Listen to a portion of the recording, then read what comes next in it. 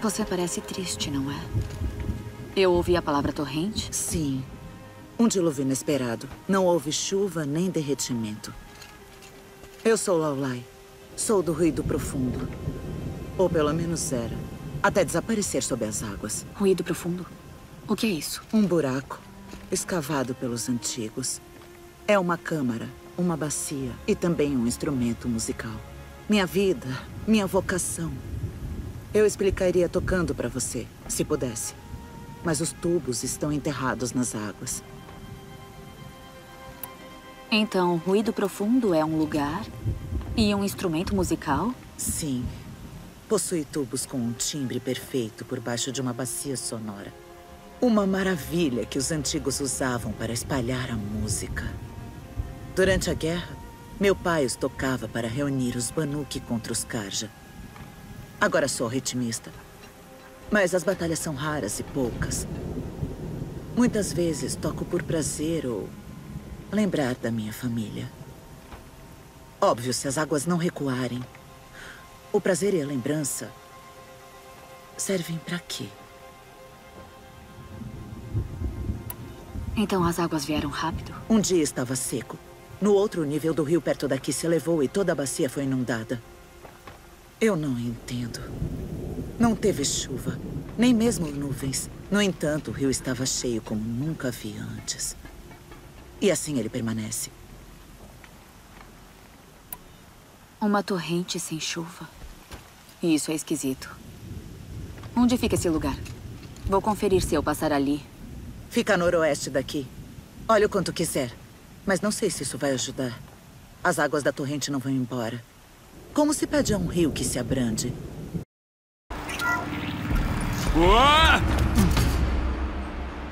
Você está bem?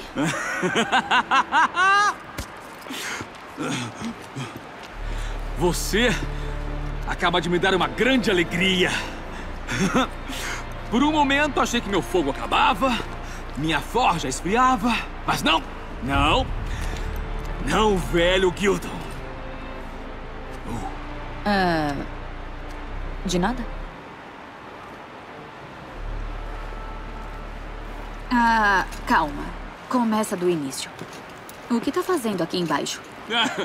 Mil perdões. Quando só se fala consigo mesmo, dá pra contar suas histórias em qualquer ordem. Tem um artefato naquele depósito que eu quero muito conseguir.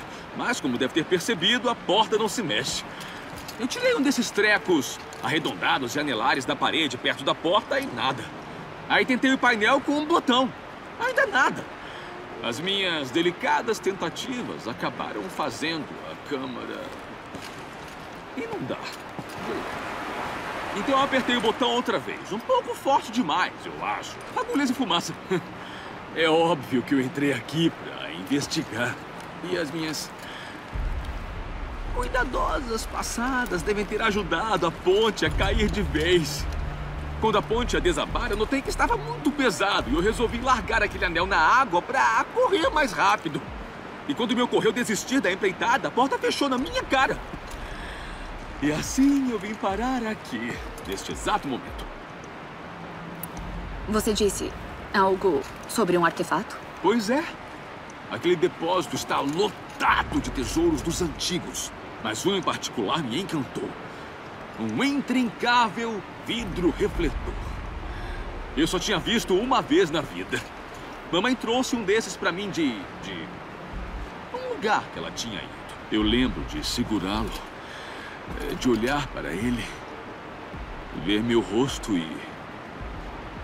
e a minha mãe logo atrás de mim, sorrindo. E um desses vidros refletores está no depósito. Está? Sim. Tenho certeza. Eu olhei dentro daquela câmarazinha escura e lá estava. Faz tempo que eu queria achar um, eu... Sim, dessa vez tenho certeza. Não é possível entrar no depósito sem outro daqueles anéis.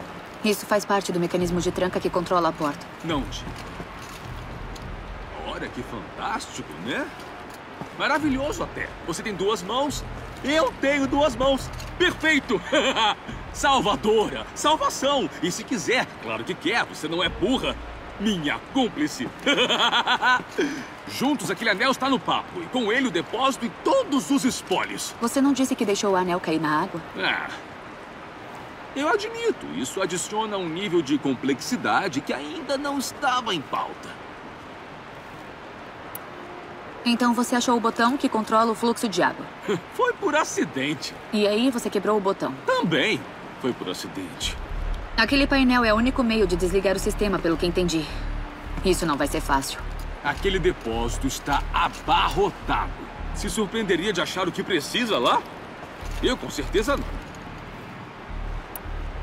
Então, temos que substituir aquele anel e entrar no depósito. Aí eu conserto o painel e desligo o sistema. E eu finalmente vou botar as minhas mãos naquele vidro refletor. Tá bom, Gildon. Como vamos chegar àquele anel? Temos quatro mãos, garota! Temos quatro mãos! Ali atrás há dois portões gigantescos, mas eu acho que precisam ser abertos ao mesmo tempo. Juntos podemos secar este lugar. Acho que é melhor começar, então. Eu concordo. Gildon. Tá tudo bem? Eu achava que estava aqui. O vidro refletor.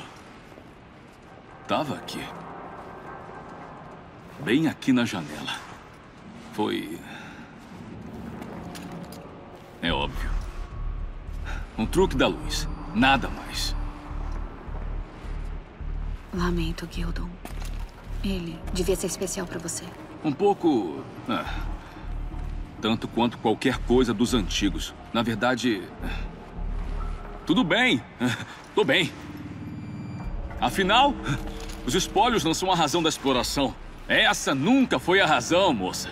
É emoção, não o tesouro. e foi muita emoção. Ah! Pela forja ardente, eu nunca vou esquecer. Ah, pois bem. Temos uns concertos a fazer agora, não é?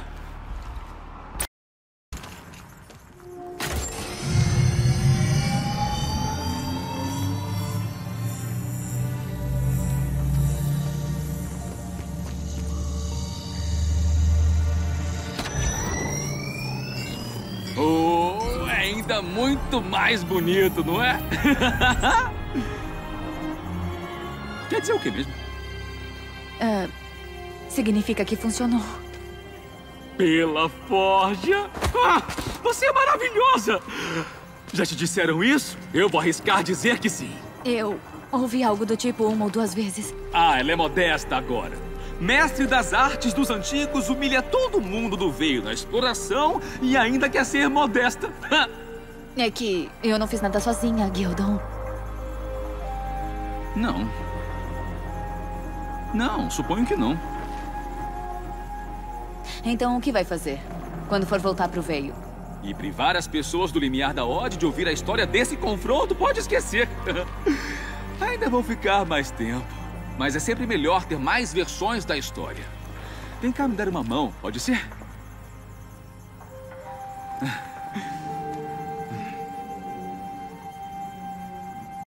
Parece feliz por voltar a tocar. Não sei o que você fez, mas as águas escoaram na batida de uma canção curta. O que você acha da música?